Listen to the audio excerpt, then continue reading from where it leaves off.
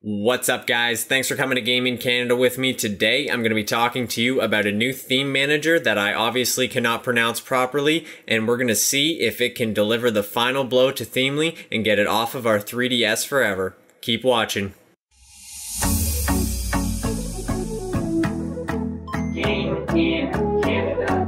I'll go ahead here and just read over the release a little bit. So the feature of the theme manager includes support for installing a single theme to your 3DS, support for installing up to 10 shuffle themes, support for previewing your themes before installing them, and support for installing boot splashes for Luma 3DS.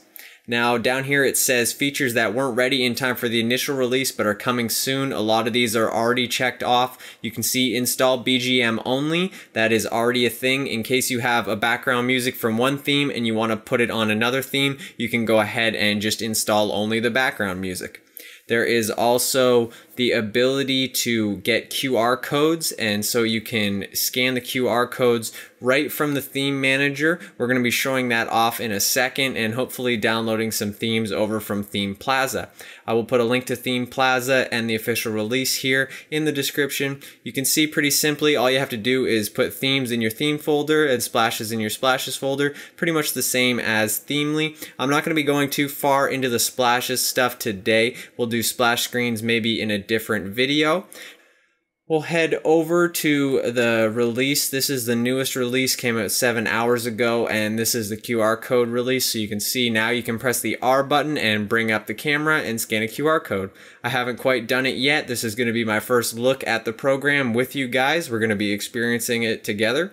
So you can go ahead and get the 3DSX version if you want to run this from Homebrew. Use FBI to scan this QR code right here. This SMDH file, this is only to be paired with the 3DSX file. It's not really needed, but you could go ahead and throw it into your Homebrew folder as well. Go ahead and get one of these and I will meet you guys down on the 3DS real quick. The theme I'm going to be using is from Theme Plaza and it's by Radnar8959 and it's a pretty cool little Umbreon theme. You can see if you hover over it, it'll give you a QR code. So we're going to try to scan this in a second here.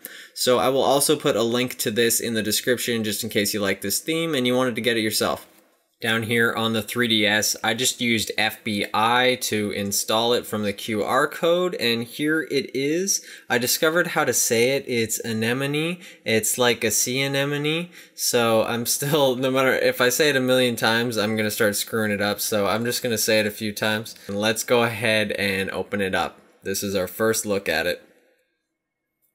So you can see here we've opened up into Anemone and my Super Mario RPG theme by Weblob from the last video is in here. This is currently, I guess, the only theme I have on my SD card. If you see right here, you can hit A to install themes, X to install only the background music, and Y will preview your theme. B will queue shuffle, and select will install shuffle theme. Okay, so we'll have to figure out what those mean a little bit more because I'm not too sure. And R will bring up our scan QR code. So I'm going to go ahead and hover over this Umbreon theme. And then I'm going to hit R on my 3DS. And you guys are actually going to be able to see my computer screen through NTR viewer. And here I am. So I'm going to go ahead and scan this QR code. So there we go. It didn't really say that it was installing or anything, but you can see I now have an Umbreon theme. I'm going to go ahead and press the Y button and preview it. And there it is. It looks just like the picture. That's pretty awesome. You can press the Y button to exit out of the preview. I'm going to go ahead and hit A on it and see if I can install it. There we go, installing a single theme. I just want to see what would happen if I went and hit select install shuffle theme. That didn't seem to do anything. I've pulled up another theme here, this Super Mario Sunshine theme. I'll put a link to it in the description as well. But I want to go ahead and scan another QR code. So I'm hitting R. It's now popped up my camera. Hopefully it'll start installing. I think it's installing right now. And I'm going to try to get the shuffle working for the themes because it seems to be a little bit tricky and I want to show you guys how to do it properly. So as you can see, that one took a second to download, but it was definitely downloading. If it happens to freeze, it just seems like it that's what it does when it's downloading. So I've now got the Super Mario Sunshine theme.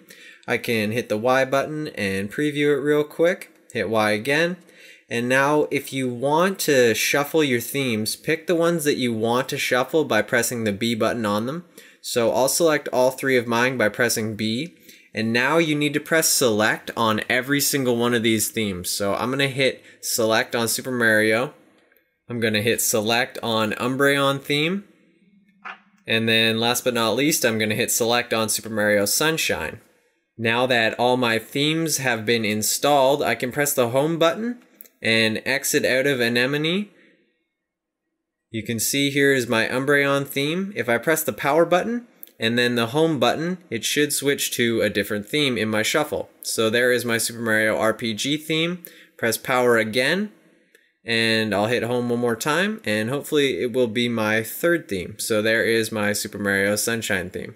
Well guys, I think Anemone might be able to officially get Themely off of your 3DS. It seems to work pretty well. There is a couple little bugs just where it's downloading. It seems to freeze for a minute, but I mean, like I say, it's just downloading something in the background. It's not expected to keep running the camera while downloading. Although it would be nice if maybe some kind of little bar popped up and showed the download progress. Other than that, I don't really have too many complaints. We'll have to test out the splash screen function and see if we can shuffle some splash screens here in the future. That would be kind of cool to have a different one every time you turned on your 3DS without doing too much at all. I hope you guys can figure this out. If you have any questions, please go down to the comments and let me know.